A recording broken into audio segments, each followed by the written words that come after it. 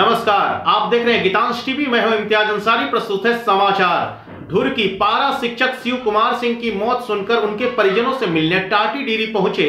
बसपा नेता ताहिर अंसारी मिलकर उनके परिजनों को ढांढस बंधाया और दुख व्यक्त किया। सहयोग रूप 50 किलो चावल एवं तीन लीटर रिफाइंड तेल उनके उपरांत शिव कुमार सिंह की पत्नी सविता कुंवर ने ताहिर अंसारी से शिकायत की उसका बड़ा पुत्र जब अपना पिता की मौत सुनकर सूरत से आया तो ढोरकी पुलिस ने उसे शनिवार को टाटी डेरी घर से पकड़कर मारपीट करने लगा।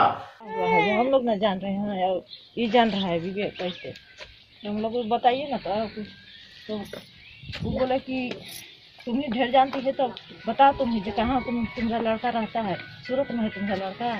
कहाँ है? तुम ही बताओ। तो हम हम बोले कि सर हम तो नहीं जान रहे थे कहाँ है लेकिन इतना जानते हैं जी घर में बोल के गया था कि हम सूरत जा रहे हैं। अब वहाँ से गया था तो फ़ोन भी किया। था आपको भी मारपीट किया पुलिस सर यहाँ तो मारा है एक फाइट में मारे हैं देखिए तो है। बात तो है भैया के जा थे तो गए ना?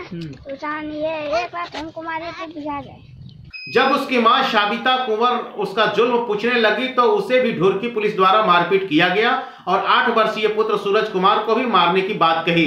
यह सुनकर ताहिर अंसारी ने पुलिस प्रशासन से ऐसे हरकत से बाज आने को कहा। ताहिर ने कहा कि नहीं तो हम जनता के साथ आंदोलन के लिए बाध्य होंगे।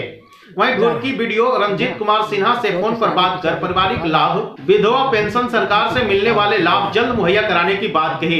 इसके बाद टाटी डेरी गाँव सहित करवा पहाड़ गरियारी कला पाट पानी गाँव जाकर लोगों से मिले व साथ में अपने कार्यकर्ताओं के साथ बैठक कर पार्टी विस्तार व मजबूती पर चर्चा की। मौके पर ढुरकी प्रखंड अध्यक्ष अशरफ अंसारी जितेंद्र कुमार सुरेश यादव अनुज चौबे ललित तुरिया राहत हुसैन जमशेद अंसारी रामदास भैया भोला शाह राजेंद्र गौड़ देवंत अंसारी शाहनवाज अंसारी सहित सैकड़ों कार्यकर्ता मौजूद थे।